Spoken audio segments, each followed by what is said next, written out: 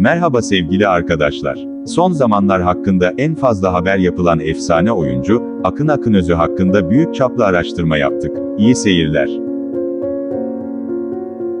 Akın Akınözü 22 Eylül 1990 yılında Ankara'da hayata gözlerini açmıştır. Annesi oyuncu ve dublaj sanatçısı Özlem Akınözü, babası Tamer Akınözü'dür.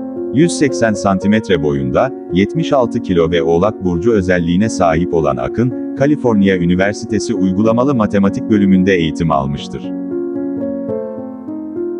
Annesinin de isteğiyle oyunculuk üzerine eğitim almış ve oyuncu olmaya karar vermiştir. İlk oyunculuk deneyimini 2014 yılında Azrail adlı filmde Gaffur karakterine hayat vererek yaşamıştır. 2019 yılında Hercai dizisindeki Miran karakteri ile yıldızı parlayan, başarılı oyuncunun artık yurt dışında da sevenleri hızla artmaktaydı. Daha sonra Kaderimin Oyunu ve Tuzak dizilerinde başrol oynayan Akın, bugün Türkiye'nin en başarılı erkek oyuncuları arasında gösterilmektedir. Uzun yıllardır Sandra Pestemalciyan ile bir küs bir barışık ilişki yaşamaktadır. Karizmatik oyuncu Akın Akınözü'nün kendisi gibi oyuncu olan annesi Özlem Akınözü, uzun süredir mücadele ettiği kanser hastalığına yenik düşerek hayatını kaybetti.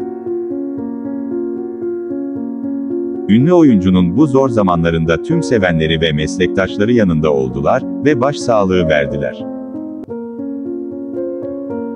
Peki sizler Akın Akınözü'nün oyunculuğunu beğeniyor musunuz? Değerli düşüncelerinizi bizimle paylaşmayı unutmayın. Teşekkür ediyoruz.